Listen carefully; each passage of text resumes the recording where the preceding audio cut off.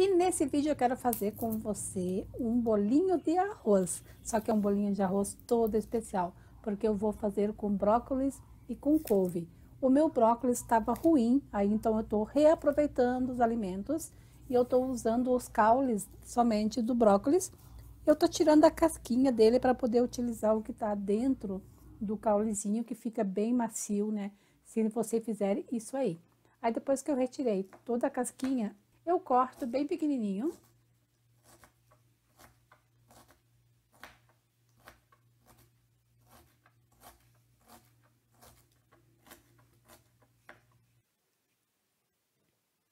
E pronto, tá prontinho para usar. A couve eu tiro essa parte aqui mais grossa, já tá lavada, tá? Então eu enrolo bem ela e vou cortando ela em zigue-zague para poder ficar bem pequenininho os pedaços. Então, vai, vai cortando assim aos cantinhos. Corta aqui, corta ali, ok? Aí fica bem dos pedacinhos que você vai colocar no bolinho.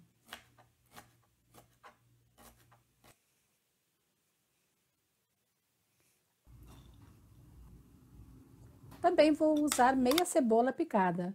Uma xícara de arroz de ontem, tá? Então, eu coloquei ali o brócolis, meia cebola, uma xícara de arroz de ontem e a couve.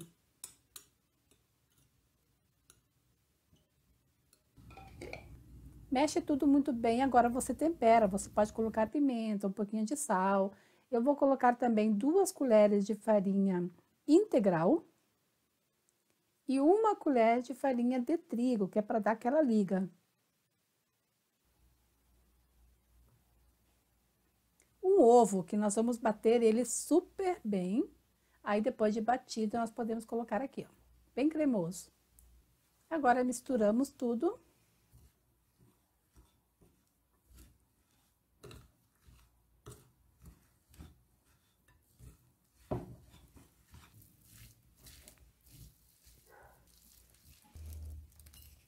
Aqui ficou um pouco, mas assim, eu coloquei três colheres de farinha de rosca e daí eu vou formatar os bolinhos, que podem ser redondos, podem ser em forma de croquete.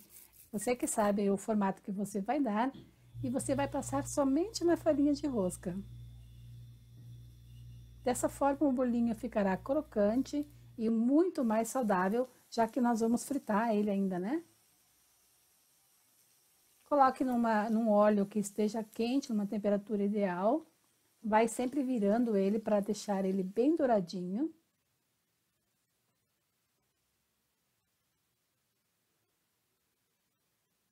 E olha só como fica. Muito crocante por fora e bem cremosinho por dentro, além daquele cheirinho maravilhoso.